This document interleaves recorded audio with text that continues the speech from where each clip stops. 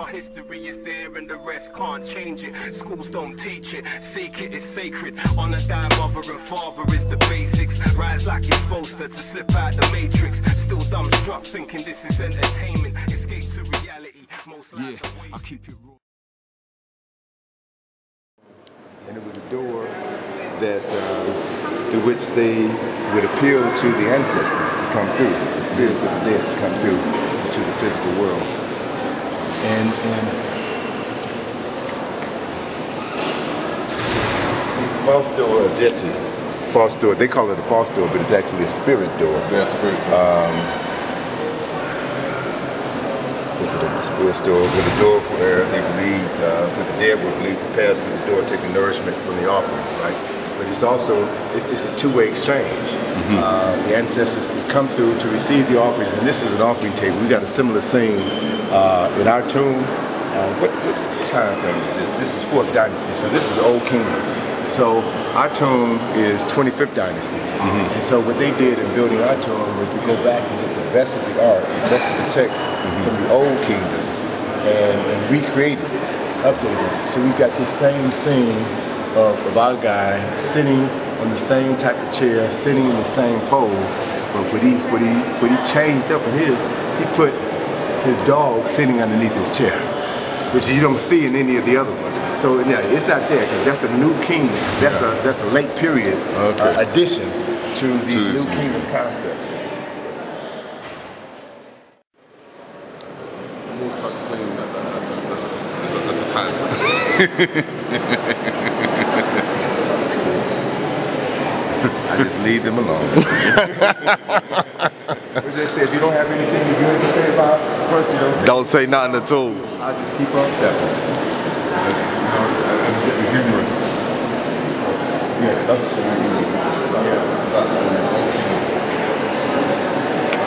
What? What?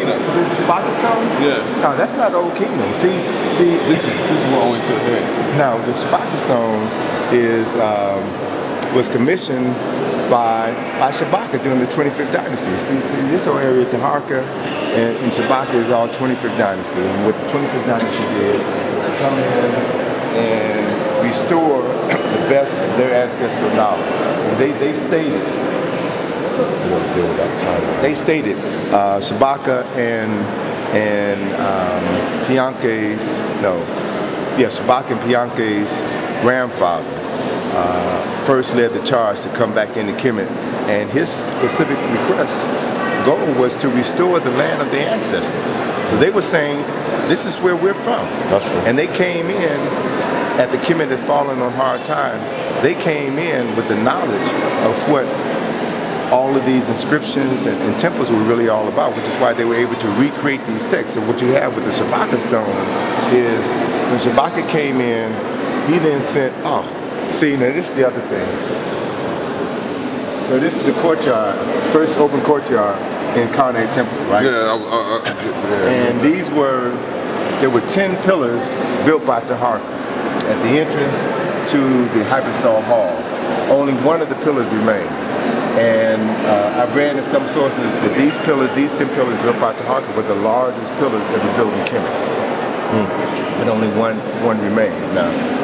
Only one remains, uh, and all of this was destroyed, so this was rebuilt. So, and the French have been responsible uh, for rebuilding, excavating, and restoring in Luxor, in Karnak Temple. They've been doing this for over 100 years. They got the private concession. And, and so I had to ask the question, why did they only rebuild this one? You know, do they have the capacity or the fragments to rebuild the others, but they only chose to rebuild one because they downplay, have historically been downplaying the Kushite uh, temples and monuments in Karnak Temple because nobody wanted to acknowledge the 25th dynasty.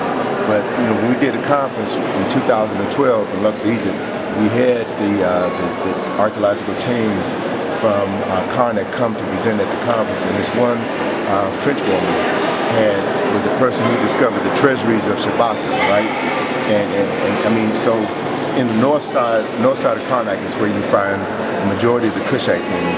And when their team presented, they said that based on their research, the Kushites, particularly Shabaka and Taharka, built more chapels and temples at Karnak Temple than any other king. And you'll never find that information in any publication because they haven't released their findings yet, but behind closed doors, this is what they're talking about. So folk are now beginning to look at the 25th dynasty from an entirely different light. Where they thought or tried to portray them as usurpers, they were the ones responsible for jump-starting uh, Kemetic civilization one last time before she finally went in the. You know, Dr. Clarke always says the 25th dynasty represents uh, ancient Africa's last great walk in the sun. Because after the 25th dynasty, after the 25th dynasty, it was over. Kemet was never the same. Never the same. Shabaka stone States, when they, when they, the tekhen that's in um, Central Park, Yeah. they had a whole Masonic ritual when they transported it from uh, from the river and installed it and and in in the publication that they made about that, they said that the Masons were able to uh, prove their origins originated in Kemet because when they dismantled the tekhen that was in, it was taken from Luxor to Alexandria, and then it was given as a gift to the United States. And when they dismantled it, they found symbols on the base of it that were, they said, was evidence of um, the origins of Masonry. Yeah. And so they say, they claim Ramesses as the master mason. Trace everything back to Ramesses. There's my guy. There's my guy. And there's his fist. You ever been to Detroit? No. In Detroit, um, I think uh, Joe Louis is from Detroit, right? Uh-huh. They got a statue of Joe Louis's fist. It's about it's, it's about twice that size. It's just hanging on a chain, and uh, that's probably the inspiration for that piece of work. I mean, I, I just Because what we do, we do, when we do, when we do tours, we always make sure that we give something, we give it, uh, touch it as a fist, okay as a photographic Fist picture. That's cool. Yeah. Okay. So it's your turn to this All right, today. No problem. No problem. So I'll do it on your phone. Okay. And the beauty of it is that's that's the portion of the beard of Heru-em-Akhet. They have the copy is in Egypt. A plaster Paris copy. Stay there. Something when you went, I put it, I put it.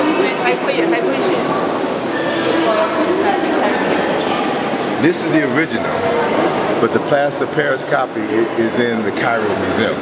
And this is one of the pieces that they've been petitioning uh, the British government to return, but of course they, they deny their ability to return it because if they return all the items that they stole, then the museum would have to shut down. So they're real clear about this. But I remember Van Sertima saying that they also had in the basement of the museum a portion of, um, of uh, the nose Of the and the lips. Sphinx. Yeah. Yeah. Now, you know, this is the damage, uh, the damage, the, most of the damage that was done to the statue was done during the three years that Napoleon was in Egypt.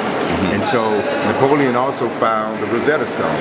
So you gotta, you gotta, you gotta process this. If Napoleon found, you know, disfigured the face of Heru-em-Akhet, if his soldiers found the Rosetta Stone, then why are all of these artifacts in the British Museum now? The British hijacked the ships that Napoleon was sending back to France with these artifacts. That's why it's here. Yeah. Okay? So you got thieves stealing from thieves. and they'll they'll never acknowledge they, they can't afford to acknowledge their theft.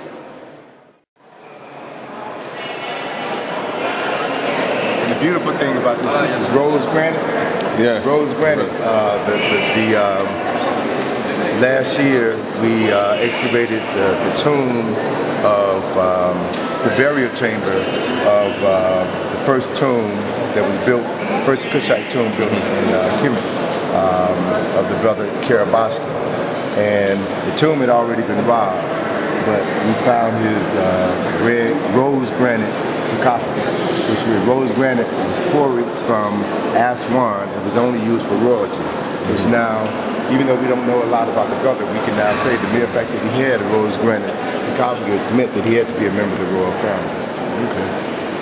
And the other thing that I found that, that I just began to become aware of is that in Kemet, particularly in Karnak Temple and other, other temples, uh, the threshold at the entrances to certain rooms in the tombs is always made out of rose granite. Right? So as I've been traveling around to different locations, I noticed in DC, they, they've done replicated a similar thing where the thresholds of certain buildings is always always rose granite. I saw the very same thing here on the streets of London. Yeah. Only certain areas of rose granite. I don't know what it means, but um, Yeah. You yeah, you it, it, you know, that's something I need to look into. Uh, why the thresholds, uh, when they were placed there, and what do they what do they mean for the uh, the people in each location. Pay, now they feel they made it. Still rock chains and whips, still on a slave ship. Our history is there and the rest can't change it. Schools don't teach it, seek it, it is sacred. On a die, mother and father is the basics. Rise like you're supposed to, to slip out the matrix. Still dumbstruck, thinking this is entertainment. Escape to reality, most lives are wasted. See, enough don't feel the same, that's why we're left grieving. Our resources stolen for street codes, we're bleeding. I'd rather die for freedom than live for bullshit. If you feel the same, holler at me, fam, and let's link. Many don't know the history, that's why their life's a mystery. If it ain't revolution, then it don't mean shit to me. All you seem to care about is gold chains and whips. We had that in abundance, locked in them slave ships, and before that, we had the whole globe in our grip. The belly of this song is the reason why we slipped. I'm a warrior like Hannibal, resurrect through my seed. The outcome's fanatical, straight mathematical, sleepwalking, pure bullshit you're talking. Teach the next gen, see for them it's important, so they can break free from this degree of distraction. Bang on the never lose your passion. And yo, niggas make a little pay, now they feel they made it. Still rock chains and whips, still on a slave ship. Our history is there and the rest can't change it. Schools don't teach it, seek it, it is sacred. On a die, mother and father is the basics. Rise like you're supposed to, to slip out the matrix. Still dumbstruck, thinking this is entertainment. Escape to reality, most lives are wasted.